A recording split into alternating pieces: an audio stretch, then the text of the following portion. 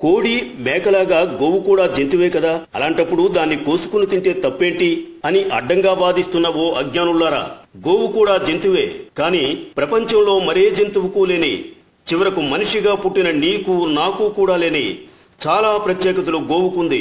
అందుకే హిందువులు తమ తల్లి తరువాత తల్లి స్థానాన్ని ఇచ్చి గోమాతాని గౌరవంగా పిలుస్తూ పూజిస్తారు. నీ చదువు నీ సంస్కారం నీ విచక్షణ నీ విద్యత నిజాన్ని నిజాయితీగా స్వీకరించే వ్యక్తిత్వం నీలో ఉంటే గోమాత గురించి కొన్ని నిజాలు చెబుతా.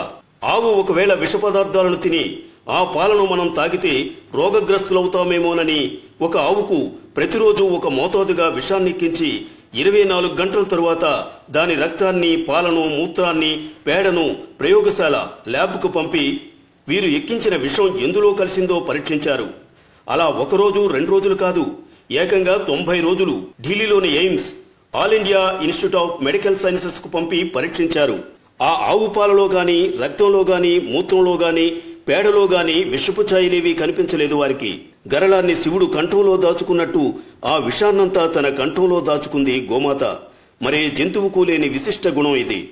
ప్రాణవాయువును పీల్చుకుని ప్రాణవాయువును వదిలే ఏకైక ప్రాణి విషాన్ని హరించే గుణం ఆవు పాలకుంది. వైద్య శాస్త్రానికే అర్థం కాని రోగాలను సైతం తన మూత్రంతో తరిమి కొట్టగల శక్తి గోమాతది. ఆవు నెయ్యి బియ్యం రెండూ కలిపి వేడి చేస్తే ఇథలిస్ ఆక్సైడ్ ప్రోపలిస్ ఆక్సైడ్ అనే శక్తివంతమైన వాయువులు విడుదలవుతాయి.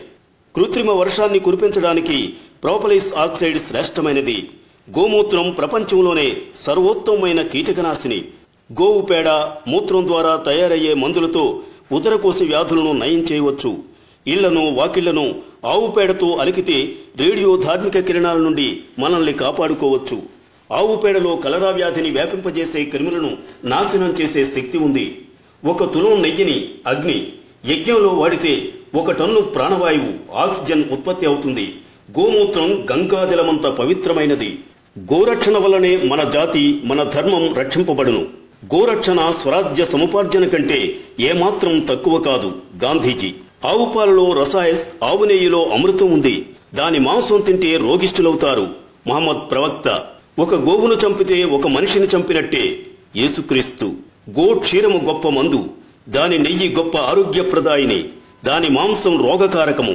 హజరత్ మహమ్మద్ గోవులు మానవ సమాజమునకు ఒక గొప్ప వరము.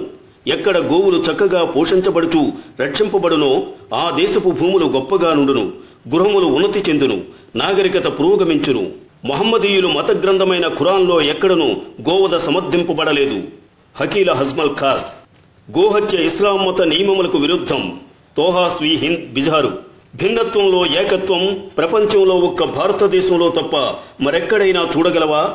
నువ్వు హిందువైనా ముస్లిమైనా క్రిస్టియన్ అయినా నా దేశంలో ఉన్నంత వరకు భారతీయుడివి. నా దేశ సంస్కృతి సంప్రదాయాలను గౌరవించడం నీ ధర్మం.